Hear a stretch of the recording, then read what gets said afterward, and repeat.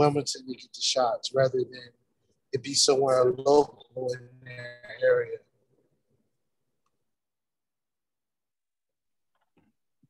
Thank you so much, Darius.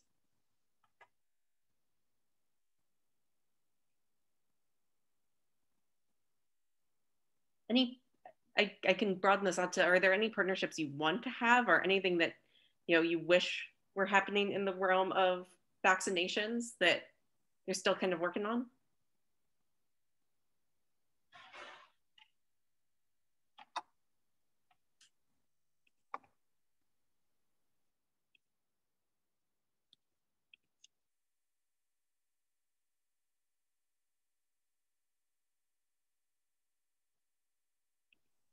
this is an odd off the wall thing, but I saw the most disturbing thing that people were able to purchase a vaccination card kind of in the black market because there's no control mechanism on them.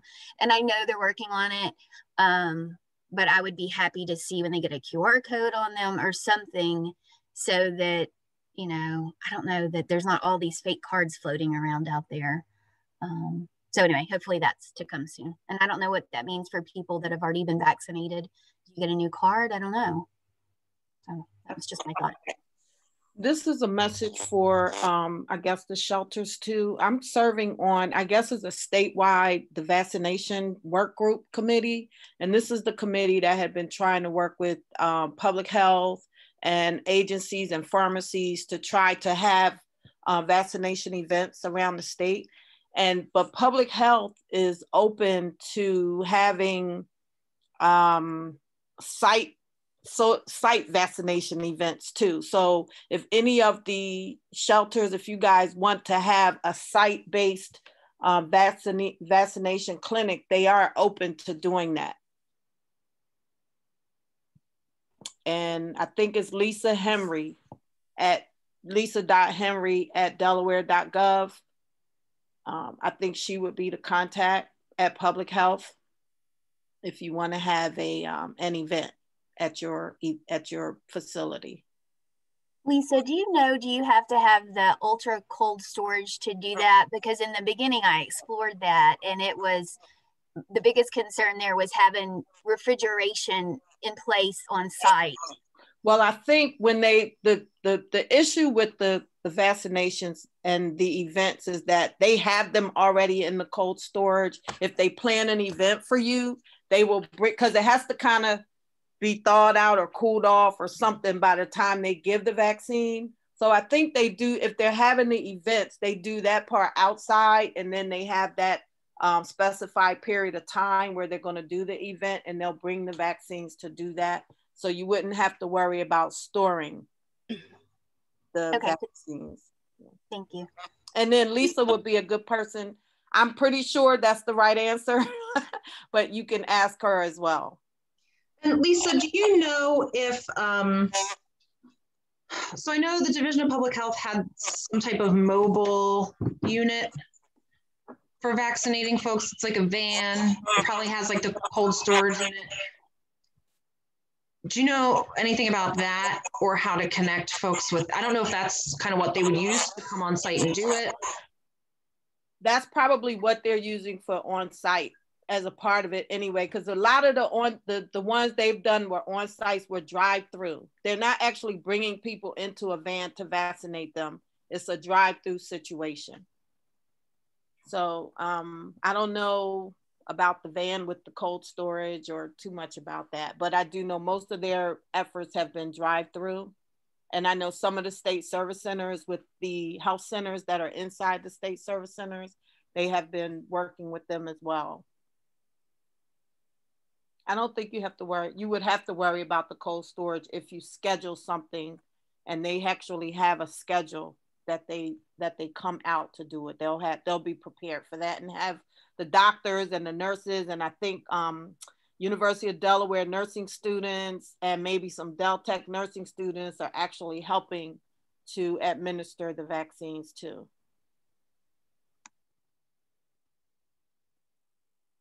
Is excellent information, Lisa. I think that's super helpful for everyone. Um, I yeah, also, they were doing a great job. First, first, first and second shots. That's great. And I know we talked about earlier that, you know, there was a little bit of either hesitancy or just people not thinking that they needed the second shot or not wanting to get the second shot. Um, I would love to hear like any ideas around how can you support that? I have some ideas, but I'd love to hear if anyone else has, um, you know, what have you seen successful for getting people to come back out and get the second one if they're getting the Pfizer or Moderna? I think right now, just for the state of Delaware, just being on that committee, I just get some information that they are doing a massive, um, well, DHSS is doing a marketing campaign and they're trying to hit those different groups that are feeling each different way. You know, they're trying to um, build out on that. So we may see some ads. Um, and of course, on the social media, they're doing a great job with that, getting it out. Well, and I know that there was some consideration to having you know trying to prioritize johnson and johnson for folks experiencing homelessness given that they move around so much and then with the pause in that i think that might have put some some wrinkles in the plans that some folks had at either division of public health or i know um, uh, dr gibney um, recently hosted a vaccination event or you know participated in and put the shots in the arms at the sunday breakfast mission in wilmington um, that the the hope originally was to use Johnson and Johnson to avoid, um, you know, folks maybe not having full protection with the second shot. Um, I don't know when that will be relaunched. That I'm not fully up to date in the most recent news on Johnson and Johnson.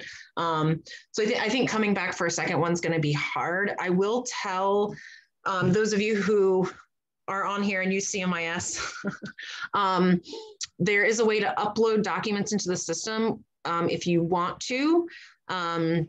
And if clients are comfortable with having like evidence uh, of their, you know, the, a copy of their first vaccine of their vaccination card that has the date of the first one and the type, like uploaded into their client profile in CMIS, it's a way to just have that be somewhere electronically. So if they go end up going to another shelter or somewhere um, that record is there um, of where and when and what type of their, their first shot they got. Um, so it, is a functionality that's possible for you if you're using CMIS. And if you have any questions about that, um, please feel free to reach out to our CMIS staff. I don't know if this fits in with, with what um, Rachel was just saying at all, but I the last time I asked on this work group committee about the Johnson and Johnson and homeless people or people who were relatively transient, the feeling was that they were not going to use Johnson and Johnson specifically to target that group of that population because then um, that's what you're doing. You're you're targeting that population, and they didn't want it to seem um, what's the word? Um, like they were just targeting that population for the single, even though it makes sense to all of us because you give them the one and done, then you don't have to hunt people down to try to give them their second vaccine. But they didn't want to um, cause a situation where the public would feel like you were um, mal targeting that group. So um, they weren't through this this work group committee anyway. They were not using Johnson and Johnson in that fashion, or had reconsidered it, I should say. And you know, I think um, you know if Johnson and Johnson, once we get past this pause, you know, I think it's having avail- availability to all of the different vaccines is incredibly helpful. Just like you know, for people experiencing homelessness, just as for the general population. So if someone would prefer one, you know, definitely making that accessible, but continuing on with vaccinations with the two doses. Um, there's also advantages. And one of the things I wanted to talk about with possible um, strategies is you know getting the vaccine that can be an opportunity to engage people in other services. So one thing we've seen be really successful is if you're having a vaccination event you know you're providing food and socks and other basic needs at those events. And then instead of it being you have to come back in three weeks to get your vaccination it's come back to the same place same time in three weeks. We have food, we have, yeah, we'll help you get connected to all of these resources and you get your second vaccine. So it's, it's kind of a multi-service event. Um, that helps having those two interactions can really help you stay engaged with someone and maybe build some trust maybe get them started on a housing process. I know that's that's always the ideal. I know it doesn't always work out like that in practice but you know providing those opportunities especially if we're going to be having two engagements with people really making the most of it at that time have a kind of an off the wall question. We are providing rapid rehousing services to homeless in motel hotels, and a lot of times there's large populations of those people in one place. Has anyone heard of them just holding an event like on, you know, one of those places in Dover that would be some of those hotels are within walking distance of each other. So I don't know. Like I said, I haven't heard that, but it might be a, a good idea and a way to get a lot of people because um, we know a lot of the people in those hotel motels um, are staying there for a long time. So they're not as transient. It was just a thought as you were talking. And I am not I'm really in depth in the program side of things as the executive director. So that may be happening and I just don't know it. I'm not sure the extent to which that's happening everywhere. I think it's happened at a couple of places. Um, so Hope Center, obviously, um, which a lot of folks are there through the State Service Center Hotel Motel um, program. Um, I think I'm looking at Lisa just because she says DSSC, just because she's because she's with that department. I don't know if she would know this or not, though. I think they might have done one. Um, they have like a hundred or so families, some really large amount of families. Don't quote me on the number. Staying at a particular hotel in Newark. I think they did a vaccination event there. Um, so I think there's been some effort at some sites, but I think it's been probably targeted to the places that have the highest number of people at this point in them. And I know there are a lot of those smaller hotels that might have 10, 10 households or right. Um, and the extent to which that's happening, I'm not sure. Um, they are doing that, but they also said they're open to they just want to reach everybody. So I don't know how public health will coordinate it, but they said they they're not looking at the hundreds and the you know they can do small events too. That's what they said in the meeting. Yeah. That's, that's great. And you know i think wherever you can find those opportunities another thing we've seen in other communities that has worked well is finding um, places where people might already be going you know daily or you know pretty frequently throughout the week like food like food banks are um, day centers or you know, so even if they're not residing there places where not only where people are frequenting but also they're almost part of each other's bubble anyway because they're coming there so often that you're also reducing the risk of transmission if you're helping get everyone um, everyone there vaccinated. So once again you're you're partnering services with the vaccine which i think can make it a little bit more um, palatable for some people. It's it's not just a vaccination event, it's meeting multiple needs. Yes. Um, for myself, not necessarily with the work I'm doing with Catholic Charities, but because I'm a part of a Divine Nine fraternity and sorority, um, we've been able to use um, some of the more of the undergrads, like far as my fraternity Kappa Alpha Psi, we've been able to use some of our undergrads and really have conversations with the students on the campuses and the surrounding communities because um, one of the topics that came up in our last meeting was um, as far as cultural cultural wise vaccinations hasn't always been a positive history in the black community. And so a lot of people are are being very biased and negative towards the vaccination. And it sounds like what we talked about earlier that a lot of people are waiting to see what happens to the people who are getting these first rounds of shots because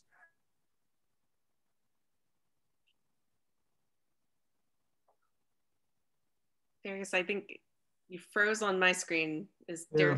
Oh mm-hmm. no, I think that was such an excellent point too. That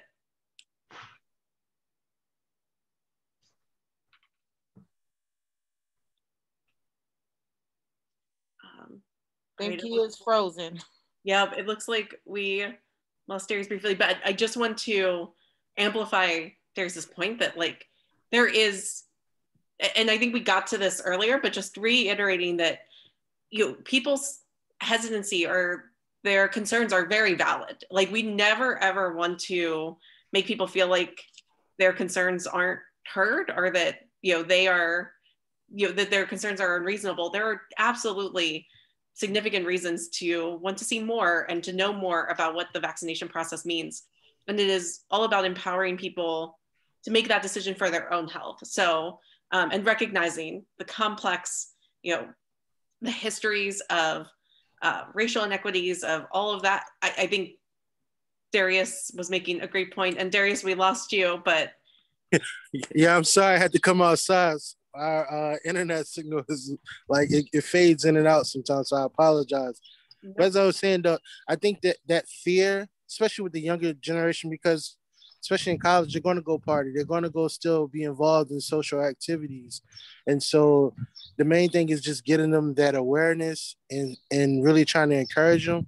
But even like someone as myself who's a little reluctant, um, I always encourage someone to you know save a life in regards to getting getting what's needed to save your life. But I'm also a little hesitant myself personally, just because I want to see how it turns out.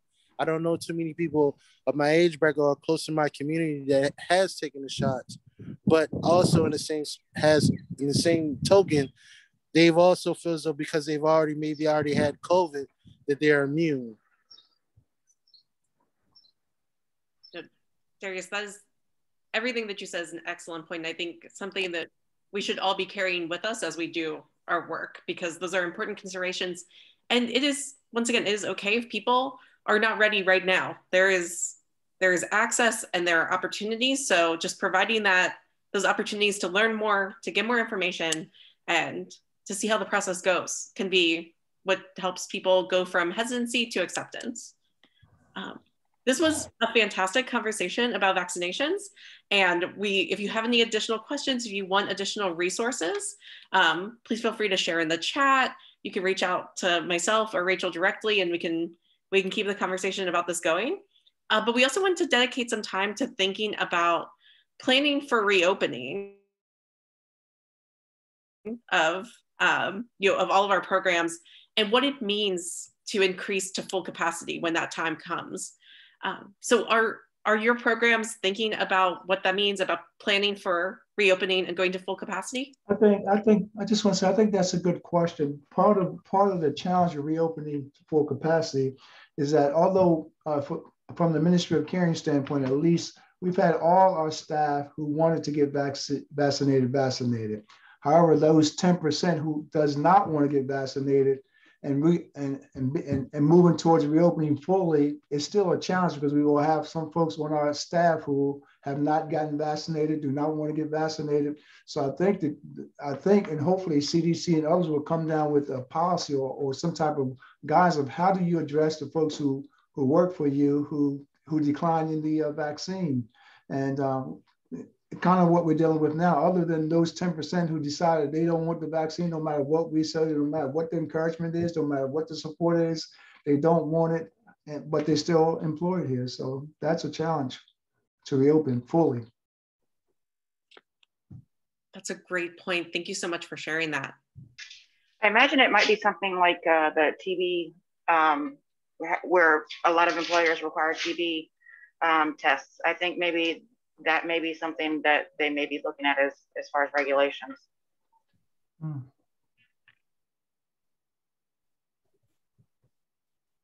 I think one of the things, so I don't, again, we don't operate like a direct, we don't operate a shelter or a direct service program. Um, but I've been struggling with these thoughts a lot um, for our organization. We don't have the office space to have every staff member have their own individual office. So thinking about like you know, we have large offices, so people were sharing space, but like who's comfortable sharing space, who's not. Mm-hmm. Not everyone's planning, not everyone has gotten vaccinated, not everyone wants to get vaccinated. And then and then okay so let's say we don't bring everyone back into the office do we bring some people who comes back who's priority to come i mean it's it's like i'm like constantly staring at this like map of our office and going like what am i doing um, and why am i doing it um, so uh, you know i know it's different when obviously when you're directly serving clients in a housing environment or shelter environment but i think it's you know i'm very curious if folks have any um, you know, our plan as an organization has always been around like public public health metrics, not necessarily a timeline. And but but now that the whole vaccination thing makes it's just it's very complicated. So i'll just stop. I'll just stop. And i was just wondering if folks had especially like those of you who are directly serving clients um, in emergency shelters or in supportive housing programs um, do you have any like thoughts about like what would lead you to say okay we have a 20 bed shelter. We've been operating with 10 beds. Now we're ready to increase to 15 beds. Or is that are we not there yet i'm just curious what folks thoughts are yeah i think we i think from the from our programming standpoint i think we're there the unfortunate uh, challenge with that even is that we've offered uh, in our shelters that have uh, those residents vaccinated and most of those residents who are in shelter care they declining also so that brings on an additional challenge for us right. to really open fully yeah, because it's just not vaccination among staff, it's vaccination right. among residents and how to keep residents safe. Mm-hmm. Yeah. Yeah. Um, but there Darius, are still some challenges without question. yeah, yeah. Um, Darius, um, do you mind if I if I call on you for a second? Um, we were in a conversation um, with Jen Parsons um, from Catholic Charities recently um, talking about, and vaccinations came up, and she was talking about how she had almost no one on her uh, rapid re, you know, she does the rapid rehousing component. She had almost none of her clients um, wanting to get vaccinated. So I was um, curious if that's uh, true as well in the like shelter among shelter residents at Catholic Charities, if folks aren't interested, or if it just varies. So what we're finding, um, and it just I guess it's I guess through process of development or progression. Um, so we have a couple residents that are have been fortunate enough to build enough uh, equity for themselves and um, are looking at places to to go to move. And so the conversation is, you know, as we continue to talk to them, the conversation is not only about, you know, helping them with bills and and you know maintaining a, a structured life so they can so it can be sustainable but also about health health as well and so um two of them are actually like i said before they weren't they weren't necessary for it but they actually are looking into the process of seeing about you know asking certain questions about the vaccination. Um the big thing is for them is consistency with work because they don't want to be out of work because they're already in a situation where it's kind of like you know they're compromised. And so i think that's a large part for for the residents uh, especially the two that i'm thinking of right now because they have not been exposed to covid. They've they've been lucky to be able to avoid it and you know take necessary precautions and the last thing um you know one of the gentlemen he has said he said listen it's like getting the flu shot so it's like it's giving it to you so but if I never had any issues and I continue doing what I'm doing, mm. do I truly need it?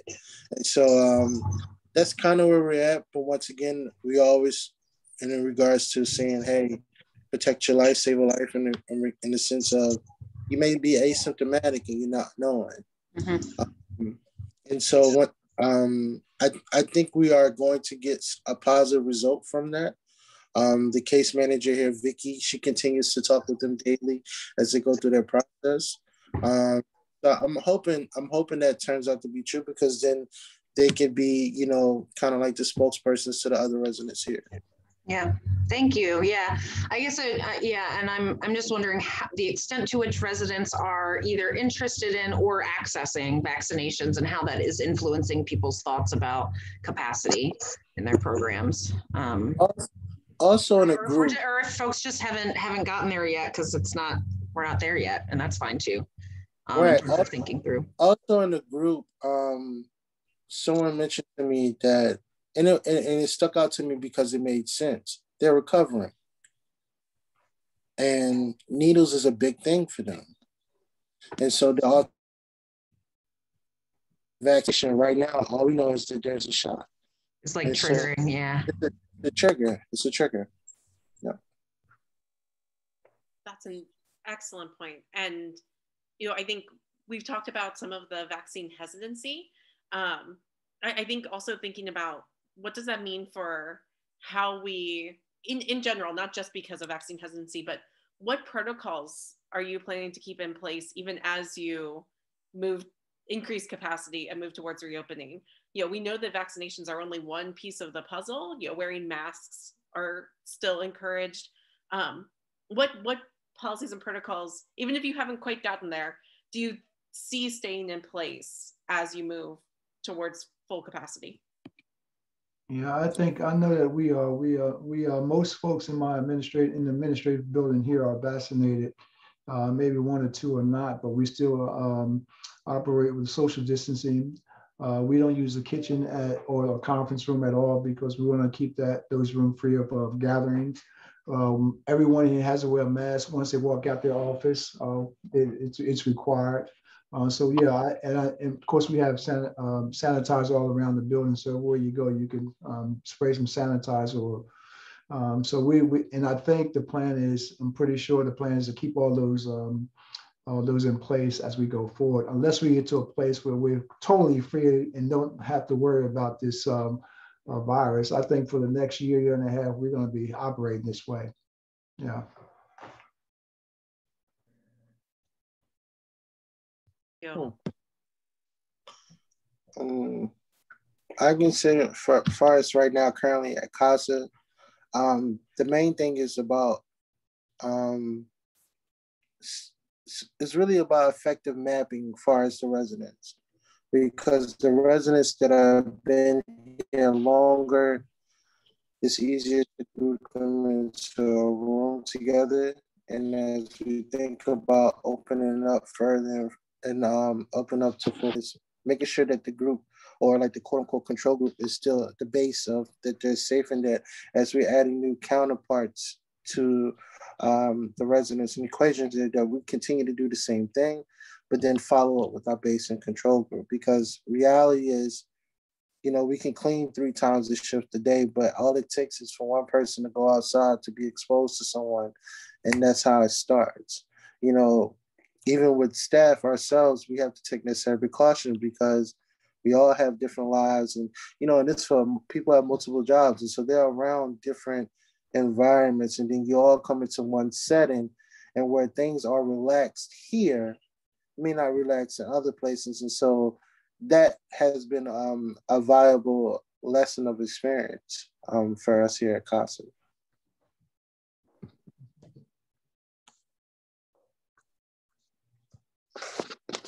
Any other reflections on what what you plan to do or what you think you might plan to do in terms of reopening and increasing capacity?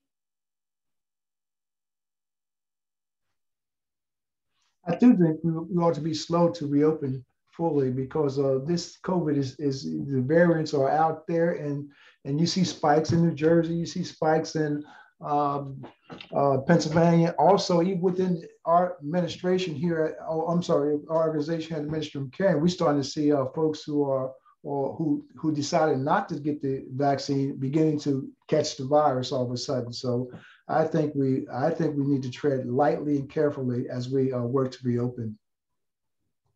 Absolutely, I'm so ready to, to be done. Um, and it's just not done with us yet. That's right. So it is not time to, uh, I definitely would not say it's time to reduce our uh, protocol, our safety protocols. That's for sure. I mean, especially in Delaware, I'm like, can the numbers just go down? And for some reason, they keep going up. And it's, yeah. Yeah. And I think that, you know, in terms of just maintaining those safety protocols, also maintaining the messaging around, you know, Darius, I think you were getting to this really well earlier. You know, these are little steps, you know, things like washing your hands, wearing a mask, but they can really help save, they could help save a life. They could help, you know, really prevent the spread, reduce transmission, all of those things, um, you know, keeping that messaging going that we still need an active effort, even even if you are vaccinated, even if most of the people around you are vaccinated, because we all have our our own lives and our own bubbles, and we mm-hmm. keep intersecting with different people. Yeah, I think you know, I think I think our the, what we're talking about now, the job is going to be harder with you know, the suspension of Johnson and Johnson, and people who had it in their mind that I'm never going to do this now have another reason not to do it. So the messaging from uh, you know from the federal government, et, et cetera, and doctors, and it's going to be very important. I mean, when you look at the numbers, it was it's extremely extremely small, but the fact is, it's made uh, it's made the, the news so much that for people who didn't want to get it it, this is another reason not to get a, a, vaccine, any vaccine. So I think that's going to make it a little tougher to reopen um, because it's going to take some time. There are people, uh, and I've run into a couple who said, okay, I'm going to get the vaccine now because I know people who got it and they didn't grow extra noses or anything like that. So I'm going to go ahead and get it. But that's going to take time. Mm-hmm. I was one of those people, Chuck. I'm scheduled to get mine on Saturday.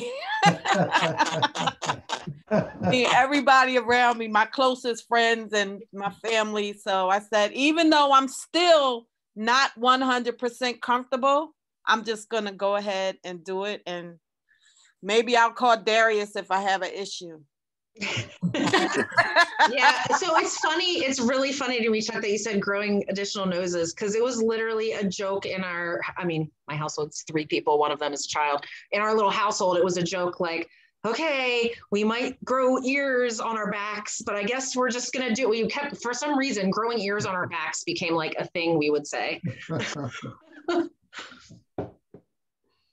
mm. I just think that we now we now know that what uh, over 100 million people taking the shot, and you have very few cases of adverse effects. So that tells me something right there. Right. Um, at least that's the, the communication. Ears, the ears on my back aren't going to go grow for like two years, John. Oh. gotcha. I'm just kidding. Yes, I agree. I, I think the issue that bothers me most about this right now is that on a, a concentrated level, we are, especially like I'm sure other places, but here at Costa specifically, you know, we have hunger, homelessness, and now we have the, the verge of the pandemic. And it's like, you know what? I still go to gas stations. We see people that are homeless.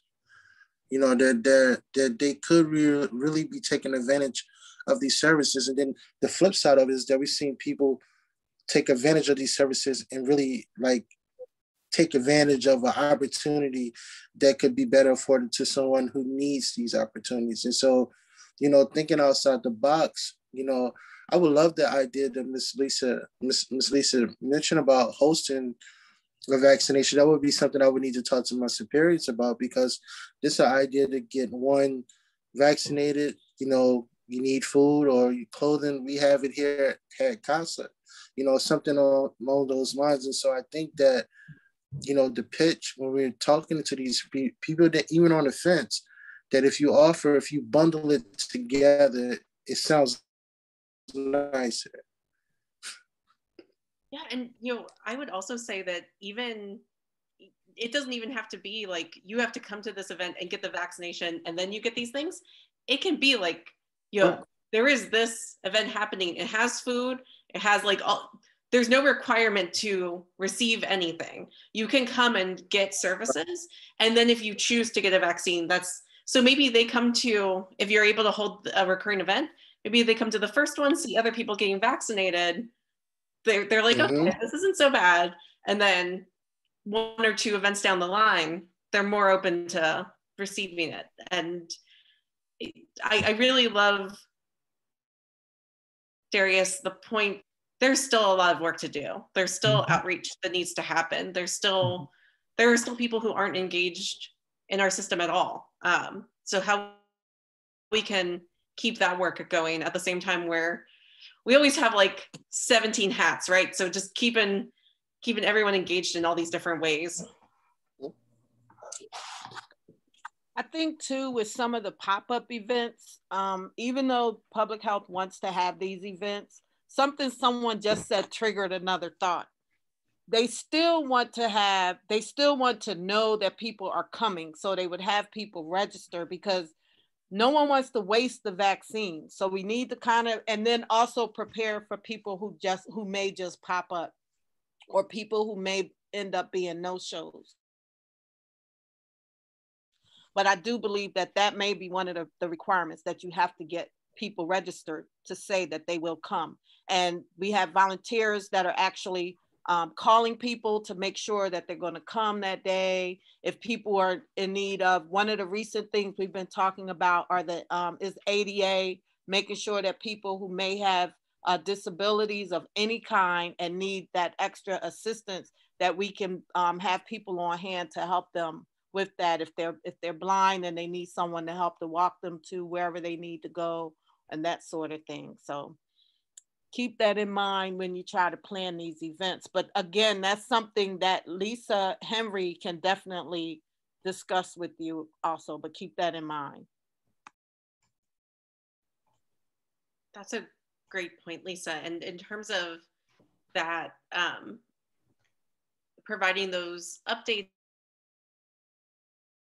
and know, registration, and I think collecting data for people experiencing homelessness can always that can always be a difficult process. Um, so I'm wondering if anyone has any advice on how they've been able to, um, you know, like what data they've been able to collect and like how you can stay in touch with people in order to get that registration information, keep in contact for a second vaccine, anything like that.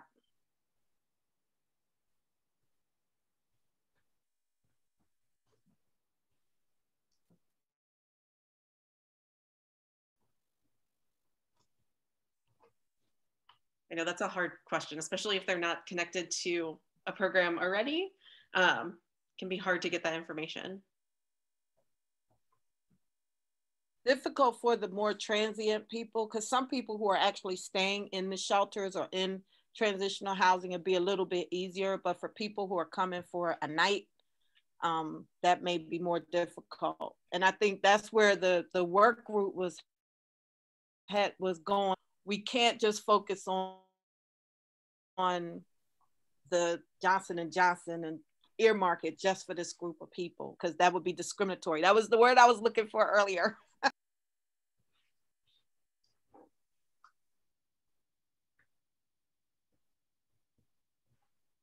Rachel, I'm wondering if you have any other questions about vaccines and reopening. No, um, I mean, I it was really helpful to hear from folks. Um, the goal here was just to give people an opportunity to share information and share concerns, um, talk about things that are and aren't working well for them.